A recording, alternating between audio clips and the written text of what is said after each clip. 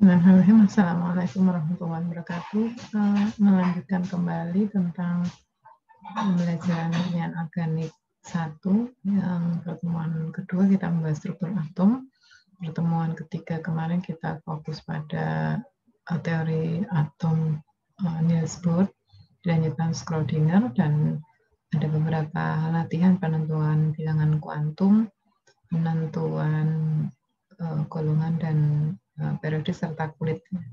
Hari ini kita akan melanjutkan kembali uh, materi kita uh, tentang sistem periodik unsur. Saya screen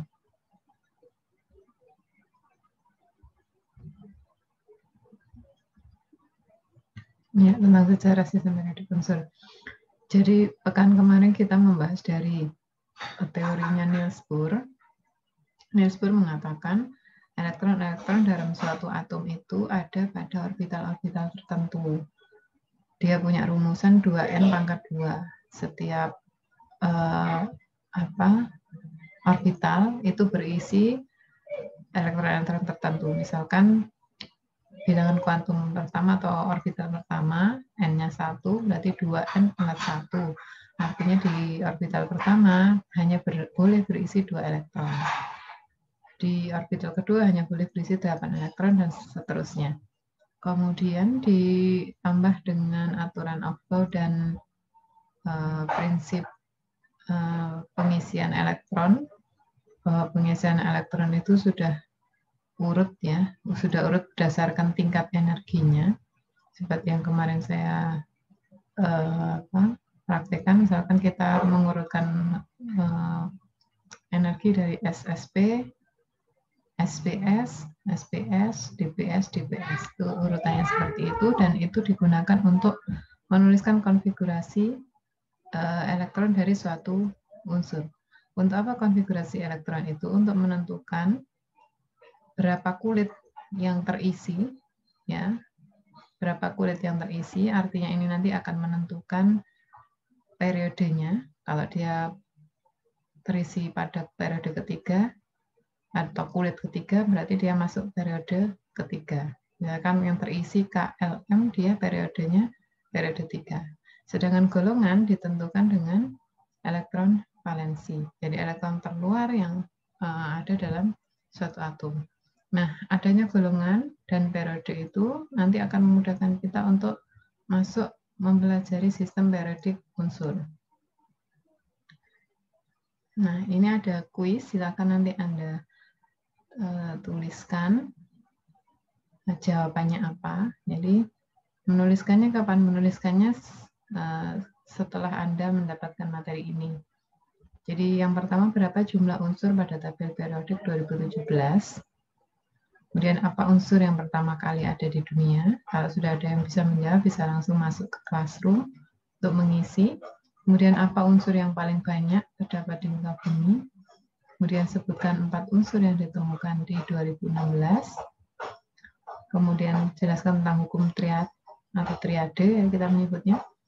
Jelaskan tentang hukum oktav. Kemudian jelaskan tentang klasifikasi Mendeleev, Moseley, Mayer dan sebutkan kelemahan serta kelebihannya. Ya, Anda bisa screenshot atau memfoto soal ini sambil saya lanjutkan untuk menjelaskan. Anda mungkin pernah melihat ini dan setiap orang sudah punya ya sistem periodik unsur. Ini sistem periodik sebelum 2016. Kalau Anda perhatikan, eh, baru 114 unsur yang ditemukan. Ya, terakhir itu UUKI sekarang ini sudah diganti. Eh, setelah 2016 ini terpenuhi sampai 118 unsur. Anda bisa cek eh, nama unsur mulai 110, nomor atom 110 sampai 118 sudah berubah. Yang jelas ini tabel periodik unsur ya. Selanjutnya,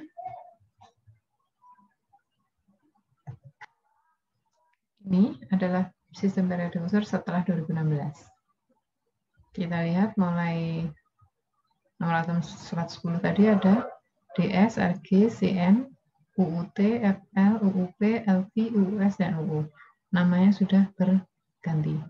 Dan di 2017-2018 yang UUT, UUS, UU, UUP ini juga sudah berganti nama dengan nama penemunya. Ya, dalam unsur yang kita temui ada yang namanya golongan ya ada yang namanya periode. Dan kita kembali ke asal usul unsur untuk pertama kalinya. Hmm, menurut beberapa literatur yang ada yang dibuktikan uh, secara empirik ada juga yang dibuktikan berdasarkan historik. Yang pertama itu Eh, beberapa buku menyebutkan 15 juta tahun yang lalu itu ada ledakan besar yang kita kenal dengan Big Bang. Ya. Dari ledakan besar itu muncullah dua unsur pertama yaitu helium dan hidrogen. Kemudian ada proses fusi. Jadi kemarin kita belajar tentang inti uh, radioaktivitas ya. Dalam inti itu ada proton dan ada neutron proton itu yang bermuatan positif, neutron yang tidak bermuatan tapi dia punya massa. Kalau proton melebihi jumlah neutron, maka akan terjadi namanya reaksi radioaktivitas. Salah satunya reaksi fusi ini. Jadi reaksi fusi ini berpenggabungan ya antara unsur-unsur yang ada yaitu helium dan hidrogen atau unsur-unsur yang kecil. Ya, karena setelah Big Bang itu helium dan hidrogen muncul, setelah itu muncul unsur-unsur dengan berat uh, nomor atom atau nomor massa ini kurang dari 26. Terjadi fusi atau penggabungan inti. Jadi helium hidrogen bertemu dengan unsur-unsur dengan AR yang kecil, ya, muncullah unsur baru. Ya, unsur baru dengan AR lebih dari 26.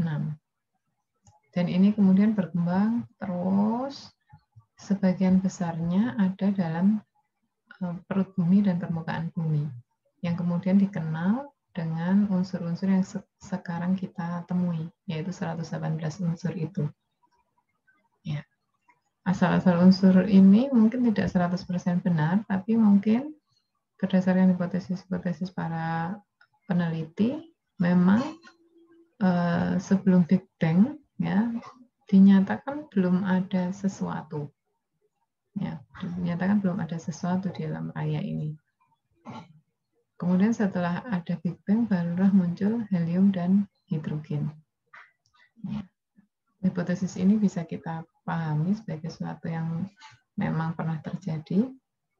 Hmm, mungkin juga memang prediksi-prediksi. Karena ada dua prediksi ya. Prediksi pertama memang terjadi Big Bang, kemudian muncul unsur-unsur. Prediksi yang kedua memang di alam, di bumi terutama, sudah disediakan unsur 118 jumlahnya. Jadi memang sudah ada dan belum belum ditemukan saja waktu itu. Ya, sebelum sebelum orang para peneliti mempunyai minat dalam unsur atom dan lain sebagainya memang belum meneliti. Saya diteliti baru muncul dan sekarang kita temui 118 unsur. Tapi sebenarnya sudah ada di muka bumi. Dan teori yang kedua ini lebih banyak diterima ya karena memang sebagian besar apa yang ada di alam raya itu bukan berasal dari sesuatu yang uh, reaksi awal itu tapi memang sudah tersedia ya memang sudah tersedia kemudian mengapa teori Big Bang ini masih dipercaya sampai sekarang masih dipercaya ya karena ternyata uh, di semesta alam ini ya bukan di bumi ya di uh, alam raya, termasuk di gugusan bintang, di orbital-orbital planet, ya, di ruang-ruang kosong di luar bumi. Ketika ada suatu penelitian yang terus-menerus dilakukan oleh para astronot yang uh, ke sana, ada yang ke planet, ada yang ke bulan, diukur bahwa 77% alam raya ini dibangun oleh hidrogen Kemudian 21 persennya helium. 2 persennya lagi unsur lain. Ini saya tekankan, ini di alam raya, bukan di bumi. Ya. Kalau di bumi paling banyak uh, oksigen, nitrogen ya. ya. Kemudian baru unsur-unsur yang lain yang ada di permukaan. Tapi karena ini yang di alam raya. ya di alam raya yang penuh dengan ruangan-ruangan kosong ya ruangan-ruangan kosong itu dipenuhi 77 persennya oleh hidrogen sehingga banyak yang masih berpedoman bahwa memang Big Bang itu 15 juta tahun yang lalu memang terjadi dan itu mengeluarkan helium dan hidrogen. Big Bang-nya sendiri apa tidak tidak tidak pernah ada yang tahu. Big Bang itu diibaratkan apa ledakan besar gitu yang memunculkan hidrogen dan helium. Ya. Kalau kita uh, mempelajari uh, agama tentu semuanya tidak bisa terjadi tiba-tiba. Pasti ada sesuatu yang memulai dan ini yang lebih banyak lebih banyak harus kita percaya ya. Tidak mungkin ada tiba-tiba Big Bang. Mungkin Big Bang ini ada tapi memang ada yang memulai. Ya, yaitu Tuhan. Ya, Tuhan yang membuat Big Bang. Mungkin itu lebih masuk akal. Tuhan yang membuat Big Bang, kemudian Tuhan pula yang menciptakan unsur hidrogen dan helium untuk pertama kalinya. Ya, jadi ini urutan di alam semesta ya. Jadi helium, hidrogen, helium. Di hidrogen ini bisa jadi namanya adalah induk segala macam uh, unsur. Kemudian oksigen, karbon, neon, uh, silikon, aluminium, magnesium, uh, Fe. Ini yang di alam raya. Ya. Jadi hanya dua unsur, dua persen unsur-unsur lain itu yang ada di muka bumi. Keseluruhannya isinya hidrogen dan helium. Nah, penemuan unsur kalau mau di uh, apa diteliti kembali uh, 970 tahun sebelum Masehi itu Nabi Daud men, atau kita menyebutnya David ya atau Nabi Daud menemukan atau menggunakan uh, besi, menggunakan besi. Jadi istilah besi, kemudian pakaian dari besi itu beliau yang pertama kali menceritakan. Ini terbalik ya. Kemudian Nabi Musa juga seperti itu, mengenalkan beberapa logam seperti emas, misalkan beliau salah satu yang bisa mensintesis emas, itu dan ilmunya belum bisa ditemukan sampai sekarang. Ya, dia bisa merangkai sesuatu hingga menjadi emas. Kemudian tahun 700 Masehi ini alkemi mulai membuat reaksi-reaksi yang waktu itu dia membuat uh, air keras, ya, uh, aqua regia, gabungan antara HCl dengan NH3 kalau tidak salah. Yang dia punya kekuatan yang sangat uh, tinggi untuk melelehkan emas. Kemudian 900 Masehi juga sama, beberapa unsur ditemukan oleh Razi Kemudian tahun abad 12, ini sudah masuk abad 12, itu Albert uh, Magnus meneliti beberapa uh, unsur-unsur baru. Baru kemudian abad-abad 17 ya, ketika Dalton mengungkapkan teori atom, Rutherford, Niels Bohr, nah baru unsur-unsur itu begitu masif ditemukan. Jadi di di abad 17 ini atau sekitar 1850 itu ada 26 unsur pertama yang ditemukan. Jadi teori unsur, teori model atom keluar, unsur-unsur juga keluar. Ini 1850, 26 unsur pertama. Setelah itu tahun 1950 ini sebenarnya baru kemarin ya, kemerdekaan loh ini 1950. Itu 90 unsur baru ditemukan. Ya, 90 unsur baru ditemukan. Jadi baru baru saja sebenarnya 1950 itu kan berdekat dengan 1945 kemerdekaan Indonesia. Jadi lima tahun setelah Indonesia merdeka unsur-unsur baru itu ditemukan karena memang masifnya perkembangan di dalam ilmu pengetahuan. Kemudian tadi yang saya jelaskan di depan ada perbedaan dari uh, sistem periodik unsur ya. Ada yang baru punya 114, itu sebelum 2016. Setelah 2016, 2017 itu ada 118 unsur. Kemudian 2018 beberapa unsur itu namanya diganti. Misalkan ini. Oh ya, ada juga yang pernah dihilangkan dari tabel periodik. Misalkan uh, teknesium AR43. Ini dihilangkan. Kemudian promesium 61 itu juga pernah dihilangkan. Coba kita cek yang terbaru AR63 yang di sini ya. Ya, yang ini yang ini. 63, 64, ya. Ada beberapa yang dihilangkan memang. 43, 61, 93 itu dan 103, 104 sama 114. Ya. Yang pertama teknesium ini pernah dihilangkan dari tabel periodik.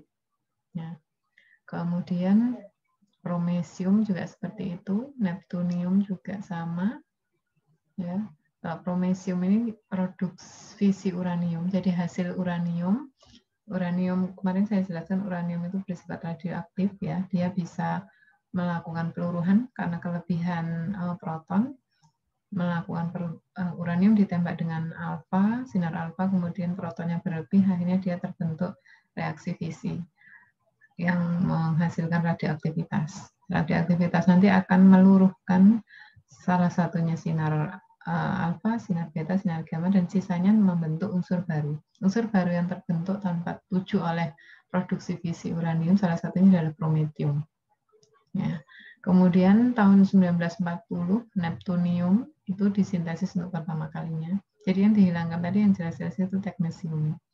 Kemudian uh, unsur yang telah diberi nama itu 103 unsur ya waktu itu tahun sekitar 1450-an ya awal-awal 90 unsur ditemukan itu baru 103 unsur yang diberi nama lainnya belum diberi nama hanya disingkat UUU, UUA, UUI gitu.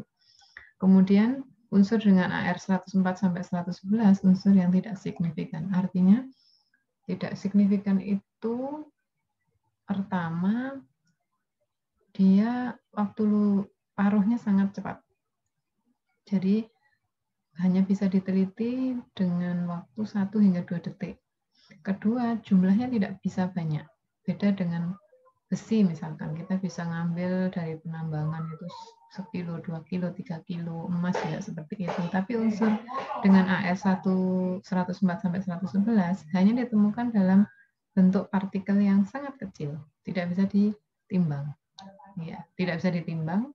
Waktu paruhnya cepat, ya, karena rata-rata unsur-unsur dengan uh, AR 104 sampai 111 ini berasal dari reaksi radioaktivitas seperti tadi produksi fisi uranium. Uranium bereaksi, kemudian meluruh menghasilkan sinar alfa, sinar beta, sinar gamma, kemudian menghasilkan unsur baru misalkan prometium. Ya kalau prometium masih bisa dipanen, diambil, diteliti. Kalau yang lainnya mungkin yang AR-nya 104, 105 kita lihat yang AR-nya 104, 105 ke atas ini, bagian ini, ini hanya hitungan detik ya, bisa diamati. Jadi tidak bisa sampai dipanen, tidak bisa. Belum bisa. Ya, sehingga dianggap unsur yang tidak signifikan. Kemudian tahun 2016 tadi, beberapa unsur diganti nama. Ya, misalkan UUT dengan AR 113 ini diusulkan ya diganti dengan nihonium. Akhirnya di disepakati. Ini 2016 diusulkan, kemudian 2018 kalau tidak salah atau 2017 permohonan para uh, peneliti dunia ini kepada IUPAC ya karena IUPAC itu yang megang sistem periodik unsur disetujui. Uh, Jadi yang diusulkan untuk diganti itu ununtrium 113 AR-nya, unun pentium 115, unun septium 117, unun octium 118. Ya. Unun trium artinya, artinya 13 ya. Tri itu 13, um itu ini bahasa Yunani kuno. Unun itu uh, atom ya. Atom atau unsur 13, 113. Serat, un, un itu 100, trium 13. Unun pentium. Penti itu 5, pentana. Ya. ya. Kemudian unun septium 100, sep, septa, septa itu 7, 17. Kemudian diganti dengan ini. Nihonium, ini nama penemunya dari Jepang. Muscovium karena ditemukan di Moskow. Tenensium, ten di tenis, ya, di organisme juga seperti itu akhirnya diganti. Jadi di tabel periodik unsur yang terbaru, kalau Anda belum menemukan unsur NH, MC, TS, UG, berarti tabel periodik Anda masih tabel periodik yang jadul. Jadi diusahakan cari tabel periodik yang terbaru. Yang sudah disepakati oleh IUPAC 118 unsur dengan nama-nama unsur yang sudah diralat. Kemudian ada fakta lain, jadi unsur dengan AR di bawah 92, ya, teknesium, prometium, dan lain-lain, itu sifatnya uh, setelah unsur-unsur setelah polonium itu sifatnya radioaktif atau transuranium. Jadi transuranium itu memang butuh unsur air dengan air yang tinggi. Kemudian waktu paruhnya ini yang saya jelaskan tadi kenapa dianggap tidak signifikan karena waktu paruhnya sangat-sangat pendek.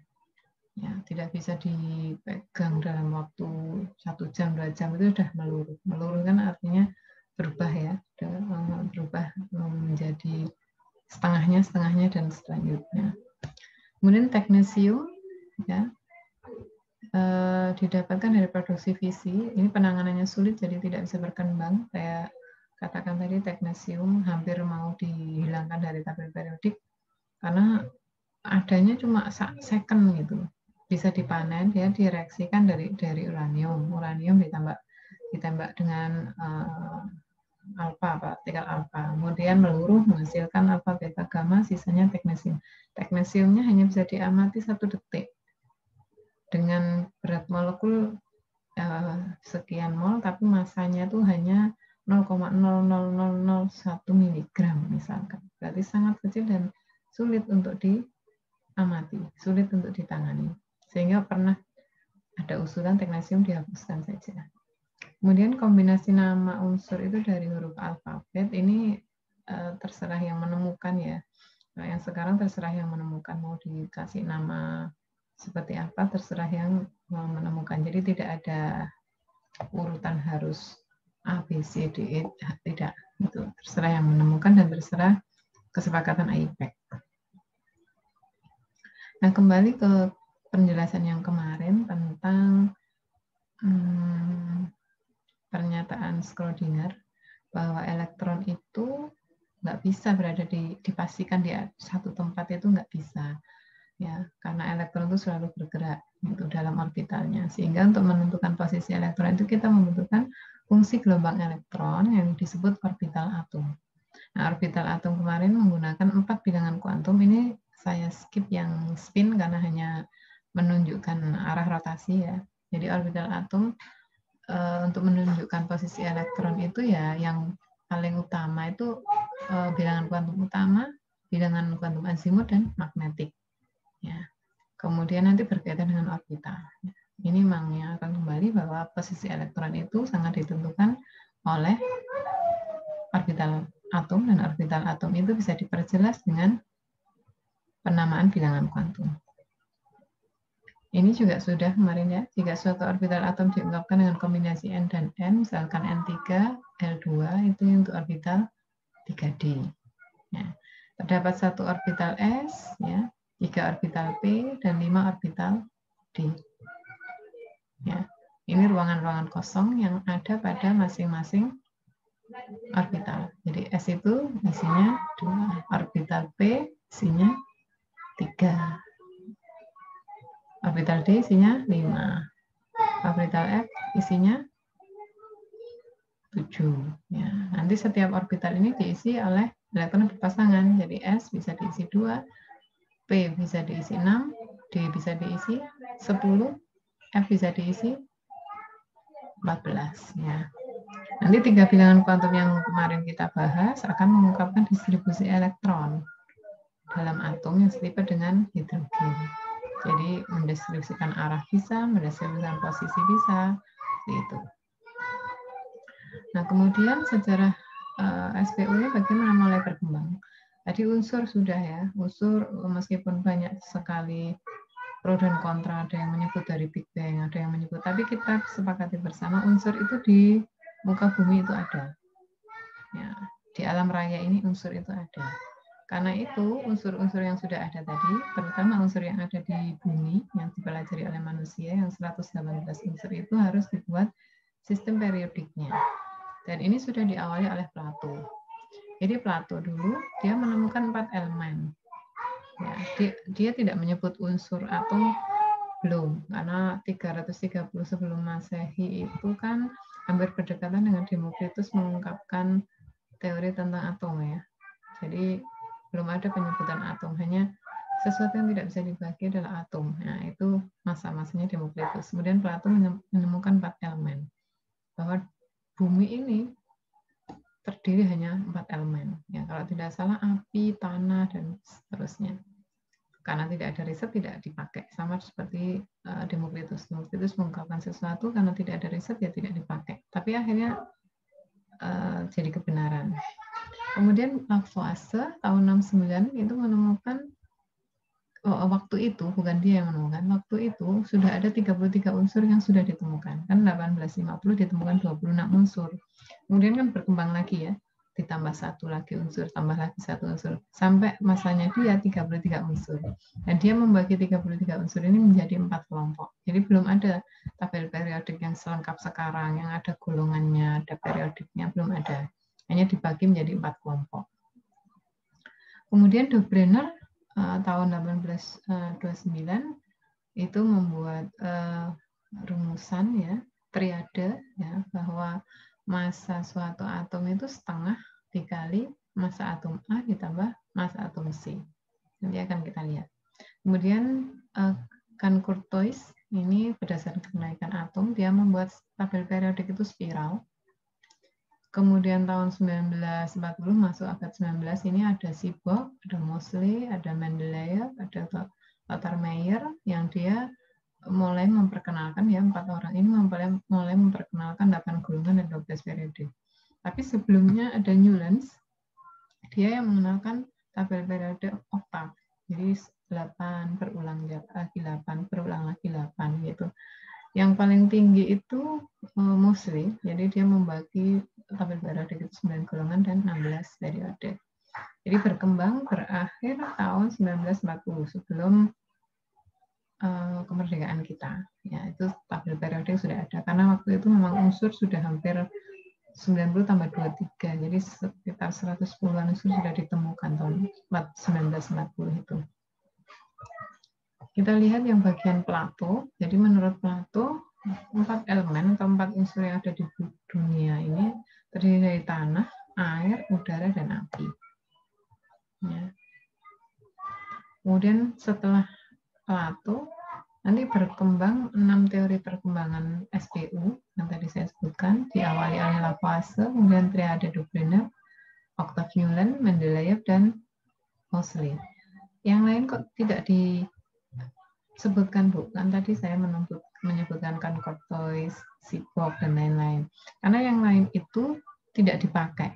ya Tidak dipakai sama sekali oleh para peneliti. Entah karena sulit, rumit, uh, tidak praktis, tapi yang dipakai hanya ini. Jadi Lavoisier dilanjutkan oleh triade, triade dilanjutkan oleh Newland, ya diperbaiki oleh Octave Newland, kemudian dibuat sistem periodik Mendeleev, kemudian Mendeleev ini dilanjutkan oleh Moseley, nah, kemudian ada juga Lothar Meyer di sini, saya lupa. Setelah itu baru dibuat suatu sistem periodik yang formal oleh Ayubek. Jadi Ayubek itu sudah rangkuman dari semuanya. Jadi yang diambil biasanya yang terakhir ya, Mosley dan Latar Meyer. Oh ya ini. Kita lihat puasa. Jadi dia pertama yang menulis buku Trade Elementary de Chemie. Jadi tentang uh, unsur-unsur uh, kimia tahun 1869. Ya, dia mengelompokkan 33 unsur yang saya sebutkan tadi jadi empat kelompok. Jadi dia melanjutkan Plato. Plato tadi menyebutkan bumi, tanah, air, api ya. Dia sama mirip. Dia membagi menjadi empat. Jadi gas, tanah, logam, kemudian non logam. Kesamaannya di mana? Kesamaannya di tanah. Ya, tadi Plato menyebutkan salah satunya tanah ya. Tanah, kemudian air, bumi gitu. Nah, ini tanah masih dipakai oleh Lavoisier untuk mengelompokkan. Kemudian gas mungkin bisa kita samakan dengan pernyataan api oleh Plato tadi. Kemudian air ya bisa jadi non logam ya, non logam kan ada yang air gitu dan seterusnya. Gitu. Yang jelas membagi menjadi empat kelompok dan cahaya itu dimasukkan dalam kategori uh, kelompok gas. Ini sudah ada 33 unsur. Ya. Gas, tanah, karena berada di tanah, makanya eh, unsur-unsur seperti kapur, magnesium, barium, aluminium dimasukkan ke sini. Kemudian logam, ya perak itu dianggap sebagai logam karena banyak dipakai sebagai perhiasan. Kemudian yang mirip-mirip dengan perak dan emas seperti besi, timah yang agak mau mengeluarkan cahaya gitu, dia masukkan dalam kategori logam. Kemudian yang gas, misalkan sulfur, fosfor, dia masukkan dalam kategori non logam. Nah, ini dia tulis dalam Trade Elementary di Kimi. 33 unsur yang pertama kali dia buatkan sistem periodik ala-ala Fokker.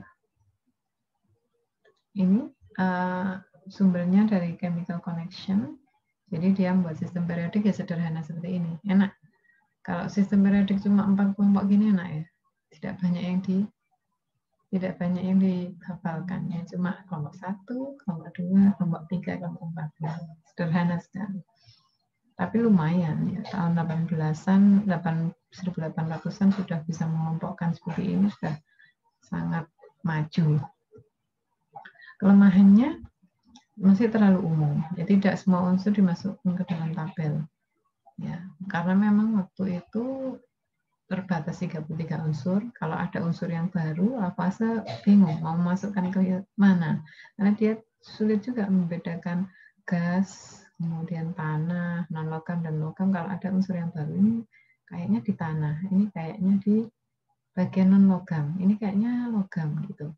Kelebihannya dia uh, orang pertama yang sudah mulai mengelompokkan unsur itu berdasarkan kemiripan sifat. Ya. Dan seterusnya nanti dijadikan referensi para peneliti di bagian unsur yang masih tetap menggunakan uh, apa prinsip Lavoisier. Misalkan alkali, alkali tanah gitu. Ya masih ada masih ada kata tanah. Yang tanah itu sendiri merujuk pada uh, pengelompokan Lavoisier. Selanjutnya Tahun 1429 ini triade, ya, dia punya uh, hukum Dobrinner, ya, hukum triad, ya. Misalkan seperti ini, ada unsur, misalkan kita tidak tahu namanya, ya, dia punya massa 7, 23, 39, ya. Kemudian unsur yang di tengah ini pasti adalah penjumlahan massa unsur atas dengan bawahnya dibagi dua. Dia menemukan seperti itu. Karena yang sebelumnya, yang ini, itu sudah ada nomor atom dan nomor masanya, semuanya. Ya. Tinggal dilanjutkan oleh Brenner dan dia menemukan, oh kok ada yang uh, ini ya, pasangan-pasangan tiga atau trio. Ada pasangan-pasangan trio dalam sistem periodik yang telah dibuat oleh Lavoisier dan sudah ada pengembangan-pengembangan. Jadi dia menemukan uh, setiap tiga unsur yang sifatnya mirip ya masanya. Ya. Unsur yang kedua adalah massa atom rata-rata dari massa atom unsur pertama dan ketiga. Contoh triade ini ClBRI. Ya, CaSRBA. Ya, kalau dihitung mm, massa atomnya, ingat ya ini massa atomnya, ya massa atom Br nanti setengah dari Cl dan I. Ini contohnya. Ingat-ingat masa atomnya, bukan nomor atomnya. Kalsium punya masa atom 40, strontium 88, barium 137. Kita lihat karena strontium ada di tengah, kalsium 40 ditambah dengan masa atom barium 137 bagi 2 sama dengan 88. Dicoba lagi dengan contoh yang lain masih sama. Ya, masih sama.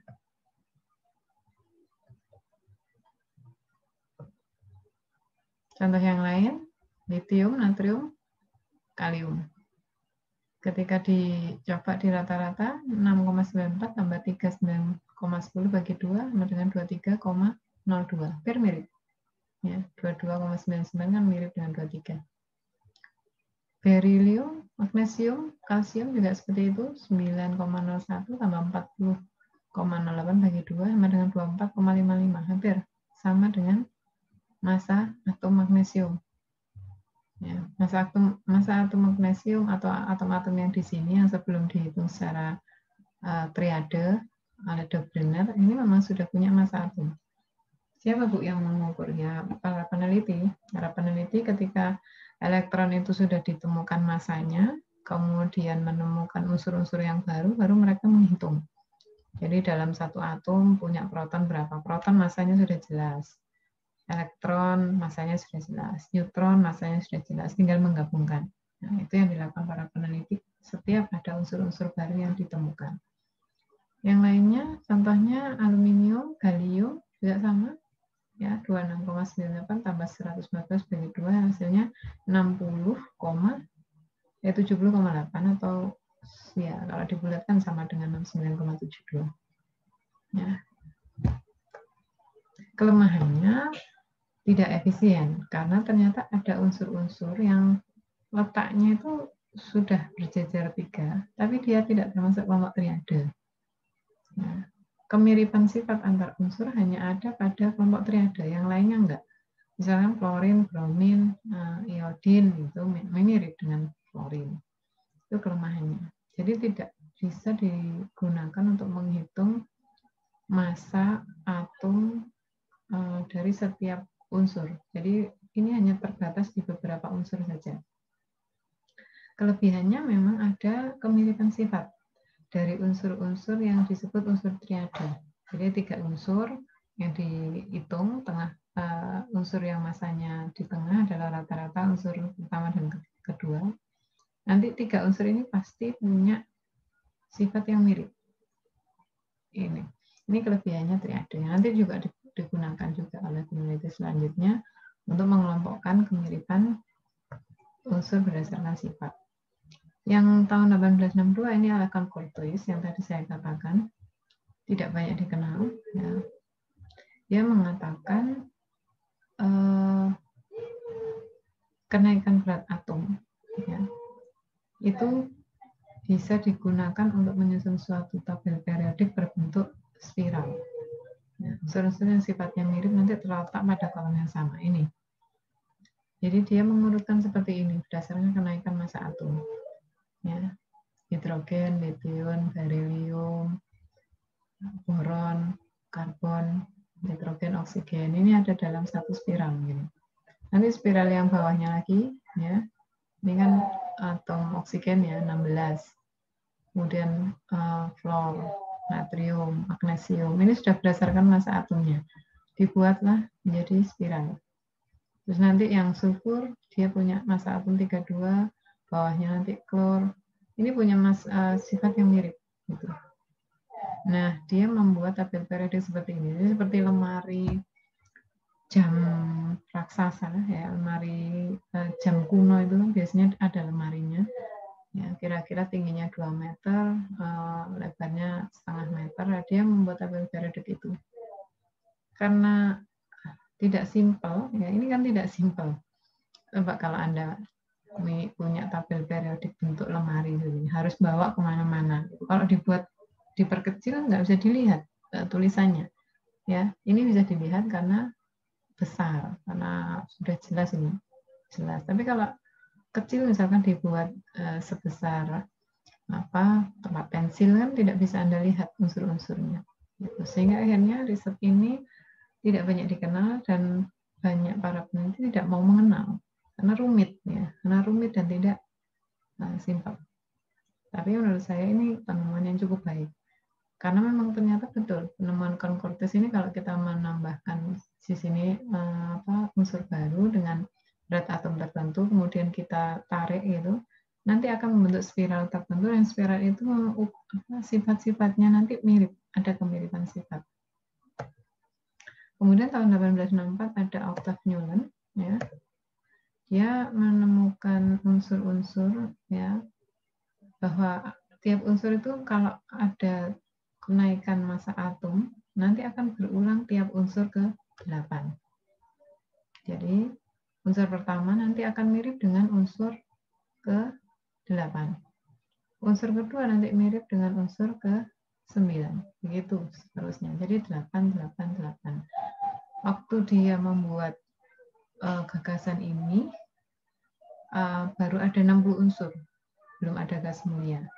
Jadi baru ada 60 unsur, ya, terdapat dua unsur yang ditempatkan sama karena kemiripan sifatnya.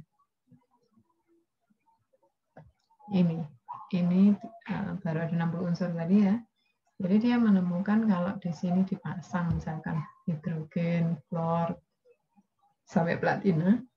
Kemudian nanti litium ini sifatnya nanti mirip dengan hidrogen.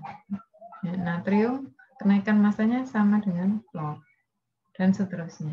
Jadi akhirnya dibuat sistem uh, oktav 8, 8, 8. Setiap yang sebaris dianggap nanti sifatnya mirip.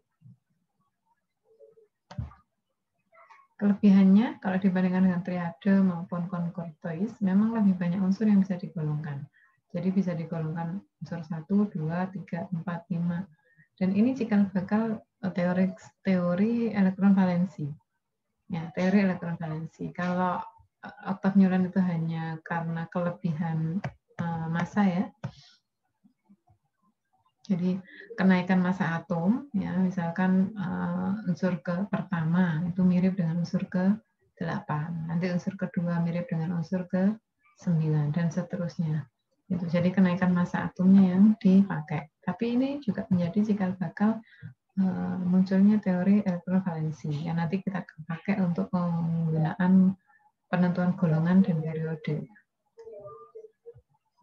Nah, kelebihannya itu Kelemahannya, kalau unsur-unsur itu terulang dengan AR di bawah 40, itu bagus. Tapi setelah AR-nya cukup besar, pengulangannya sudah tidak terjadi lagi. Jadi hukumnya oktav Newland itu hanya berlaku untuk 17 unsur pertama. Setelah itu sudah nggak berlaku, nggak cocok gitu. Kenaikan masanya nggak cocok, sudah nggak nggak nggak nggak secocok hidrogen sampai unsur ke-17. Ini kelemahannya nyata. Tapi kemudian kita kenal juga hukum oktav ya. Hukum oktav bahwa satu orbital itu nanti uh, isinya minim maksimal ada 8 elektron ini juga uh, apa pengaruh dari pernyataan oktav juga saat itu. Ya, jadi saling menutupi. Yang kelima Mendeleev ini sudah masuk uh, abad 19 ya ini yang dia temukan. Jadi dia itu memprediksi dan prediksinya Anda tahu. Ini dia tuliskan tahun 1870-an. Dia telah memprediksi bahwa nanti unsur itu ada sampai nomor uh, atom 118. Padahal nomor atom 118 itu baru ditemukan sekarang. Ya. Yang belum bisa dia prediksi nanti dia beri tanda tanda tanya. Tanda tanya tanda tanya. Jadi ini asli uh, manuskripnya dia. Jadi dia hanya mengamati 63 unsur ya dalam uh, sistem periodik saat itu dari masa atom relatifnya. Jadi sifat tertentu akan berulang secara periodik bila unsur-unsur disusun sesuai kenaikan masa atom relatifnya ini oleh Mendeleev. Jadi dia menyamakan atau memiripkan dengan satu lajur vertikal yang disebut dengan gulungan. Nah, seperti ini. Jadi dia mengurutkan unsur berdasarkan kenaikan massa atom dan sifat kimianya. Jika unsur yang disusun menurut massa atomnya, maka unsur tersebut menunjukkan sifat periodik yang sama secara periodik. Seperti ini. Dia membuat grup. Ini sebenarnya hampir mirip juga dengan oktav, ya, tapi dia lebih terperinci di nomor masa. Dia sudah menyebutkan nomor masanya. Kalau tadi di bagian oktav Newland, hidrogen kan di sini sudah ada grupnya juga ya, sama platina. Ini dirubah oleh Mendeleev, jadi dia benar-benar memasukkan nomor masa. Hidrogen, kemudian lithium 7, ya, beryllium 9,4, dia masukkan satu-satu ke dalam grup-grup ini. Dalam grup-grup ini dia masukkan sehingga di grup 8 ini ada beberapa yang sama yang kita kenal sebagai logam transisi. Yang belum ada dia beri tanda dia beri uh, tanda tanya. Dan dia yakin ini akan ada, tapi belum ada unsurnya. Gitu. yang belum ada dia berita apa tempat kosong dan dia yakin tempat kosong ini akan akan apa akan terisi ya. dan 1870 sampai 1900 sampai 2000 ya berarti sekitar 200 tahun kemudian prediksinya Mendeleev itu benar ya jadi perulangan dari kemiripan massa atom itu terjadi terus akhirnya dikenallah dengan grup 8 ini dari sistem periodik Mendeleev.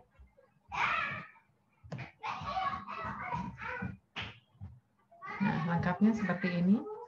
Nah, banyak yang dia beri tanda tanya, tapi akhirnya ketika unsur itu ditemukan, dicocokkan berat atomnya, dicocokkan dengan golongannya, memang di situlah tempatnya. Jadi dia sudah memprediksi ini, ini ada.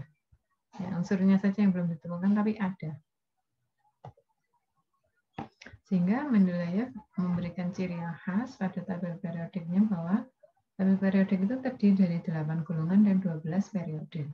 Ada beberapa yang kosong karena memang unsurnya belum ditemukan, tapi Mendeleev mengatakan itu nanti unsurnya ada. Pasti masanya seperti itu. Jadi masanya sudah bisa diprediksi. Ini kan masanya bisa diprediksi ya, karena mengulang dari masa sebelumnya. Ya. Contohnya gallium dan germanium itu sebelumnya nggak ada, tapi diramalkan ada dan ternyata memang ada. Unsur gas mulia juga dimasukkan dalam tabel darah itu tanpa mengubah posisi unsur yang telah disusun. Jadi sudah lebih stabil, sudah lebih stabil. Unsur-unsur yang dimasukkan sudah nggak pindah-pindah lagi ke golongan-golongan yang lain. Hanya kalau ada unsur yang baru tinggal memasukkan ke tempat yang kosong luar biasanya Mendeleev ini. Ini yang menjadi cikal bakal paling utama penentuan sistem periode unsur oleh IPEC.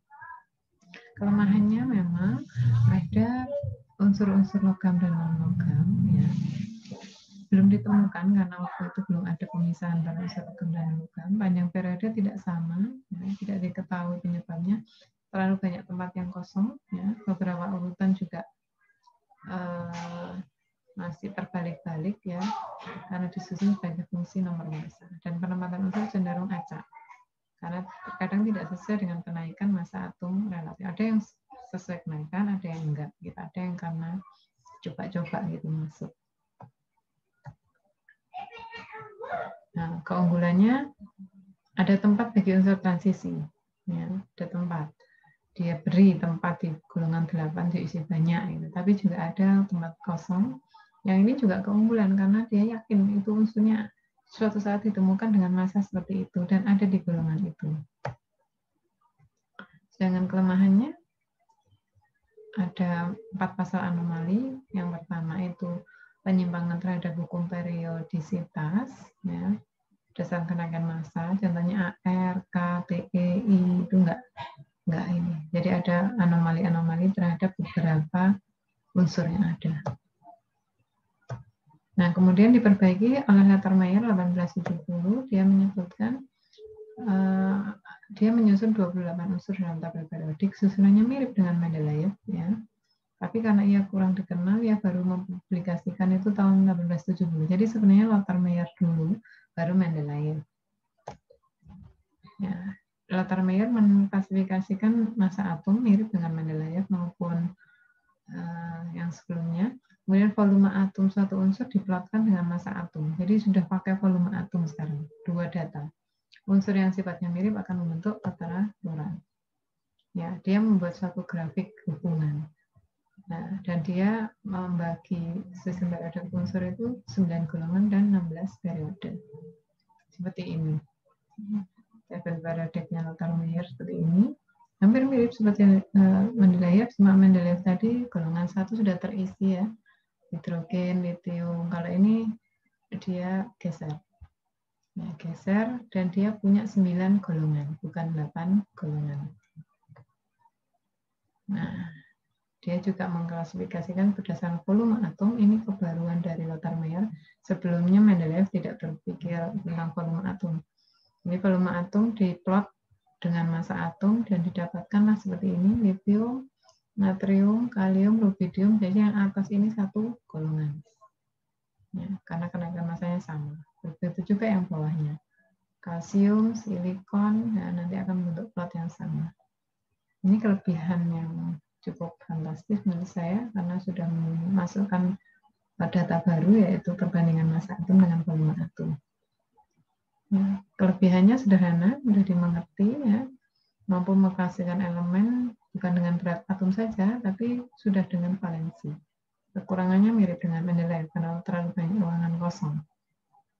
Kemudian Moseley ini 1917 dia meneliti lebih detail lagi ya dia menyebut bentuk panjang periodik panjang tabel periodik panjang yang sampai sekarang juga dipakai. Ini penyempurnaan Mendeleev dengan Lottermeyer punya tujuh periode dan delapan golongan. Jadi merangkum Mendeleev merangkum Lottermeyer golongannya didasarkan berdasarkan jumlah elektron valensi jadi kalau anda sudah belajar kemarin kita belajar oh, satu atom nanti punya elektron valensi. Untuk menentukan dia berada di golongan mana. Berarti Anda sedang menggunakan hukumnya Muslim. Kemudian periode menunjukkan kelompok unsur yang memiliki jumlah unsur yang sama atau yang memiliki kulit yang sama. Iya. Jadi yang kita gunakan adalah prinsipnya Muslim. Ini tabel periode muslim untuk pertama kalinya seperti ini ya, hampir sama dengan yang kita pakai dan akhirnya dipakai terus mulai 1970, 80, 90, 2000 ya sampai 2016 ya. Kemudian uh, tidak berubah sama sekali, hanya berubah ketika ada unsur-unsur yang baru yang dimasukkan ke sini dan sudah mem, um, membaguskan atau memperbaiki punyanya Mosley dan Lautermeyer di mana logam transisi tidak diurutkan sebaik yang ada dalam tabel periodiknya Mosley. Yang tabel periodiknya Mosley sudah lebih rapi karena di sini golongan 8 itu ada beberapa transisi sudah ada tempatnya. Bentuk antara logam, non logam, kemudian gas itu sudah dipisah-pisah. Ya, dasar penyusunannya berdasarkan kenaikan nomor atom, ya cara mengelompokkannya terdiri dari subgolongan pertama dan subgolongan transisi. Jadi ada golongan utama seperti alkali, alkali tanah, dan juga golongan transisi seperti besi, nikel, eh, dan lain-lain. Keunggulannya kenaikan massa atom suatu unsur sudah sesuai dengan kenaikan nomor atomnya, sudah pas gitu, sudah pas penempatannya juga pas. Kelemahannya ada unsur yang tidak mirip dengan sifat di bawahnya, ada beberapa. Misalkan satu golongan saja, dikatakan ini mirip sifatnya, tapi tidak 100% mirip. Ya, kita lihat saja golongan pertama mulai alkali tanah itu atau alkali ya. Natrium, litium sampai rubidium. Natrium, litium masih mirip, tapi sampai ke rubidium sudah nggak mirip. Karena rubidium itu sifatnya radioaktif. Sangat berbeda dengan alkali yang di atas. Karena itu dia mengatakan ya ini ada kelemahannya memang di tabel periodiknya Mosley atau tabel periodik yang sekarang kita pakai ya, karena ada sifat-sifat unsur yang tidak 100% mirip dengan, meskipun berada dalam satu golongan. Kemudian Henry Moseley mencoba menyusun unsur kimia dan bentuk tabel periodik seperti yang kita lihat tadi dengan ditambah hasil percobaan spektrum sinar X terhadap kenaikan nomor atom jadi lebih valid lagi.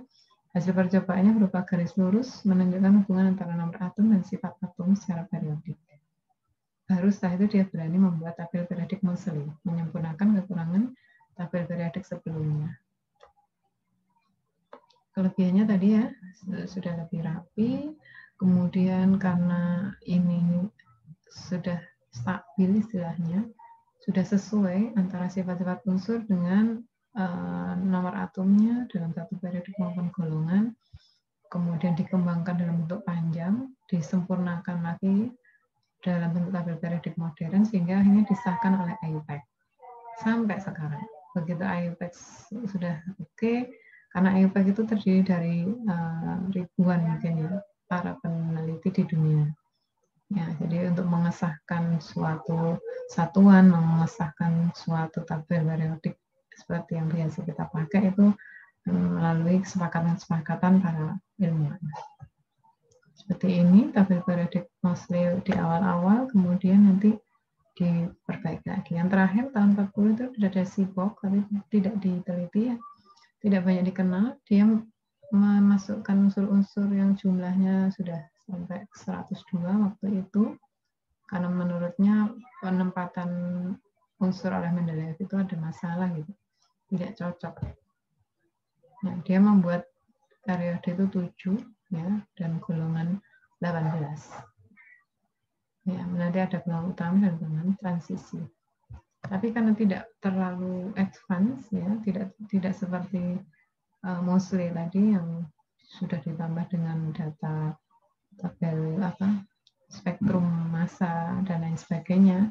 Jadi si Bob ini dianggap hanya mengikuti peneliti sebelumnya, yaitu meneliti uh, mengikuti Mosley. Jadi akhirnya tidak dipakai. Tapi gagasannya tentang golongan utama dan golongan transisi dipakai. Karena di tabel periodik unsur IUPAC yang sekarang itu tetap ada ya golongan aktinida, lantanida, transisi itu masih dikenal. Itu mungkin yang bisa Bu Ulfa sampaikan. Ini unsur-unsur yang uh, yang yang lama ini ya. Ini baru HA yang ditemukan. Jadi ini tahun berapa dan bisa dipakai. Uh, ini sipok, pengelompokan unsur sipok. Nah, nah ini nanti kuis yang melanjutkan yang tadi. Silakan Anda isi di uh, Google Form nanti bisa kita bahas di sesi diskusi uh, di Google Meet. Kita break dulu. Bisa kita lanjutkan untuk diskusi di Google Classroom maupun Google Meet. Google Meet. Kita istirahat sebentar untuk melanjutkan. Uh, silakan Anda kerjakan di Google Form. Nanti akan saya pandu dalam sesi diskusi. Sekian, mohon maaf jika ada kekurangan. Lupa akhiri. Assalamualaikum warahmatullahi wabarakatuh.